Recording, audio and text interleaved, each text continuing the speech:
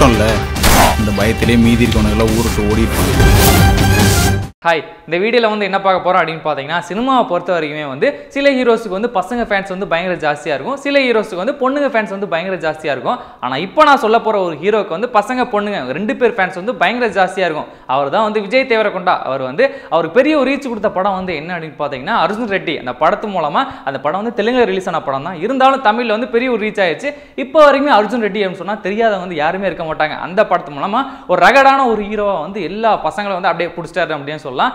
அதுக்கப்புறம் அவர் வந்து நடித்த படம் என்ன அப்படின்னு பார்த்தீங்கன்னா கீத கோவிந்தம். அந்த படத்தில் வந்து ஒரு சாஃப்டான ஒரு ஹீரோவாக பண்ணியிருப்பாரு. அதுக்கப்புறம் ரொமான்ஸ் லவ் இது எல்லாமே இருக்கும்ல. அதனாலே அந்த படம் வந்து பொண்ணுங்கள் எல்லாத்தையும் பிடிச்சிருச்சு. இந்த விஜய் தேவரகொண்ட மாதிரி ஒரு பையனை வந்து லவ் பண்ணணும்னு சொல்லிட்டு எல்லாரும் பெருசாக வந்து எதிர்பார்ப்பாங்க. அது போக என்ன அப்படின்னு பார்த்தீங்கன்னா அந்த படத்தில் வந்து பேர் அதாவது விஜய் தேவரகொண்ட ராஷ்மிகா. அந்த பேர் வந்து செம்மையாக இருக்கு. ரெண்டு பேர் லவ் பண்ணும்போது அந்த அழகா இருக்காங்க ரெண்டு பேருமே அழகா இருக்காங்கன்னு சொல்லிட்டு எல்லாருமே பெரிய ஒரு எதிர்பார்ப்பு. அதையும் தாண்டி ரியல் லைஃப்ல அவங்க ரெண்டு பேரும் கல்யாணம் பண்ணால் இன்னும் சூப்பராக இருக்குமே சொல்லிட்டு எல்லாருமே வந்து பயங்கரமாக எதிர்பார்த்தாங்க. அப்படிப்பட்ட ஒரு பேர் அந்த படமும் வந்து விஜய் தேவரகொண்டாக்கு பெரிய ஒரு கலெக்ஷன் கொடுத்துச்சு. அவரோட கரியர்ல வந்து ஒரு நூறு கோடி கலெக்ட் பண்ண ஒரு படமா கண்டிப்பா இந்த கீத கோவிந்தம் வந்து அமைஞ்சிச்சு அப்படின்னு சொல்லலாம். அதுக்கப்புறம் அவர் வந்து டாக்ஸி வேலை அதுக்கப்புறம் நோட்டா அந்த மாதிரி படங்கள் பண்ணாலும் அந்த படங்களை வந்து கொஞ்சம் ஆவரேஜா போச்சு.